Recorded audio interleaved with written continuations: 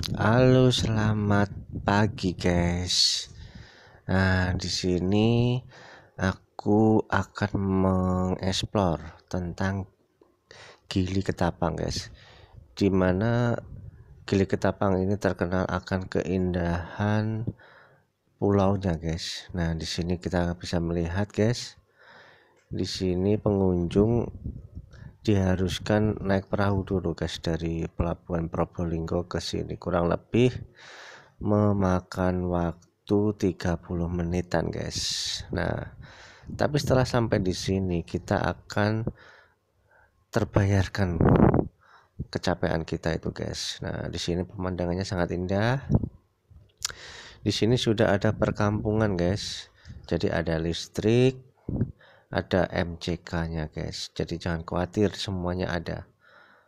Nah tapi bagi youtuber yang mempunyai drone nah saya sarankan sebelum ke sini kalian sediain dulu baterai dan remote kontrolnya itu minimal kalian harus membawa dua remote control dan minimal 6 baterai guys.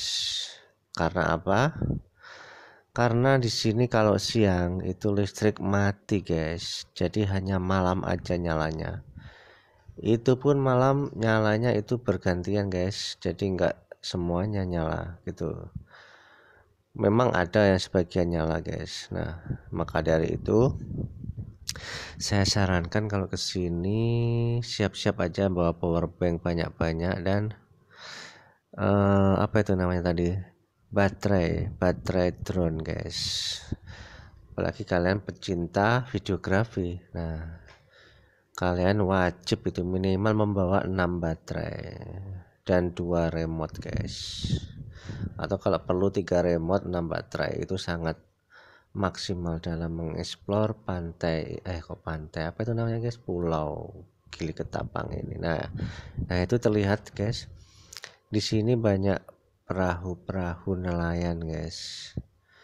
Nah di sini nanti kalian dari pelabuhan ke sini ya naik perahu ini guys. Nah nanti di sini akan disediain penginapan guys.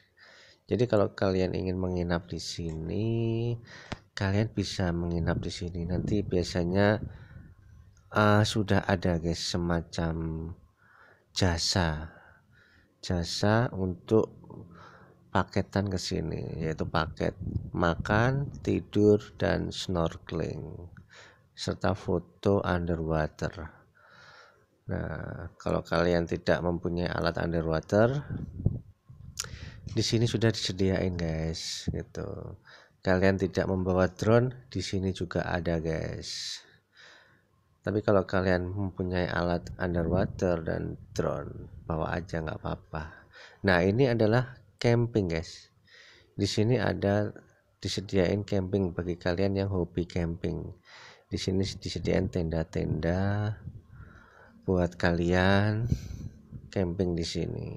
Nah nah ini pasirnya pasir putih guys dengan air lautnya yang warna hijau dan biru. Nah, apalagi ya guys yang perlu aku jelasin di sini? Oh ya, kalau kalian yang hobi makan cumi-cumi, kepiting, dan apa itu ya lobster ya kalau nggak salah itu ada di sini guys. Nah, nanti di video aku yang selanjutnya nanti aku akan membuat vlog tentang apa itu ya? Uh, kalian mau beli cumi-cumi ada nanti guys. Tapi kalau di video aku kali ini aku hanya menampilkan uh, aerial aerial guys yaitu uh, perekaman video dari udara saja. Nah ini adalah lokasi nanti kalian untuk snorkeling ya di sini ini guys. Untuk berenang. Nah di antara perahu-perahu ini ini sudah ada pos-posnya guys. Setiap jasa layanan uh, snorkeling di sini guys. Nah ini adalah sore hari guys. Waktu matahari terbenam. Ini aku merekam sekitar jam 17 lebih dikit guys. Karena aku mencari momen-momen matahari tenggelam. Nah di sini sangat bagus sekali guys. Bagi kalian yang mempunyai pecinta fotografi landscape nah di sini kalian bisa setting timelessnya pada waktu matahari terbenam dan ada background perahunya guys. Oh itu hasilnya sangat indah guys. Nah selanjutnya ini teman-teman aku lagi berenang guys. Nah ini ini aku abadikan dari atas. Nah ini Mas Abi dan Mas Seldi nih guys. Dia siap-siap untuk meluncur ini guys. Nah itu Mas Seldi itu guys. Oke nah selanjutnya Mas Abi. Oke Mas Abi ayo. Lanjut Mas Abi. Oh Mas Aldi biar minggir dulu. Oke. Mas Abi silahkan kloter berikutnya. Oh, yes. Oke Mas Abi. Siap ready. Meluncur. Oh ya. Yeah. nah selanjutnya ini aku akan mengeksplor tentang keindahan lautnya guys. Nah ini Mas Abi dan Mas Yaldi ini perahunya guys. Ini adalah perahu paket jasa snorkeling yang sudah saya sewa. Nah ini keindahan air lautnya guys kalau dilihat dari atas seperti ini guys. Uh indah sekali guys. Seperti lukisan ya pantainya. Nah itu guys. Nah ini Mas Abi, Mas Seldi dan Mas Fauzi sedang mengayuh perahu guys. Nah itu dia mengayuh perahu nah ini perahunya guys. Nah itu aku guys. Maklum guys. Cuaca sangat panas jadi serba pakai topi guys di sini. Oke Mas Abi Mas Eldi Mas Fauji. Persiapan basah-basahan. Oh iya. Sip. Mantap.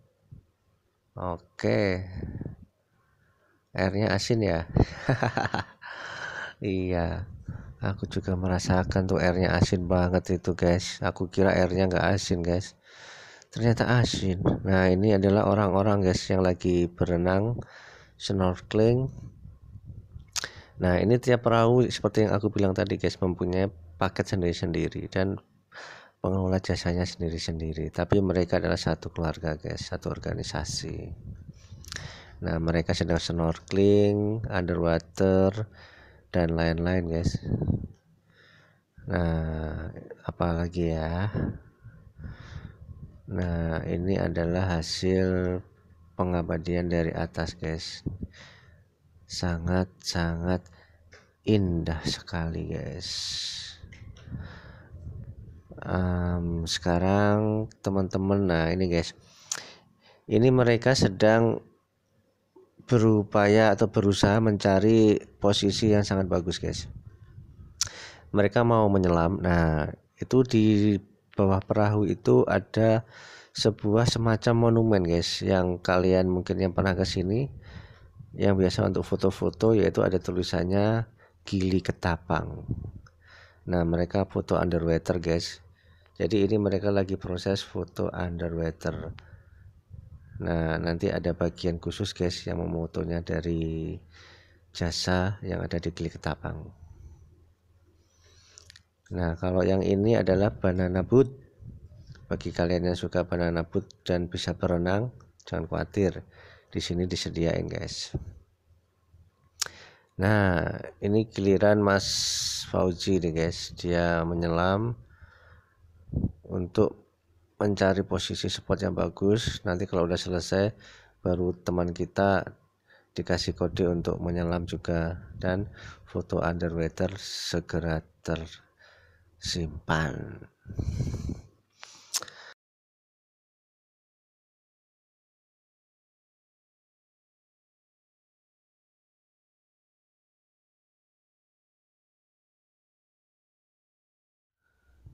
Oke guys, sampai di sini dulu um, penjelasan aku tentang gili ketapang guys. Oke, sampai di sini dulu. Silahkan jangan lupa subscribe, like, share, dan komentar ya guys. Tinggalkan jejak di video saya supaya saya bisa membalas komentar dari teman-teman youtuber oke guys. Terima kasih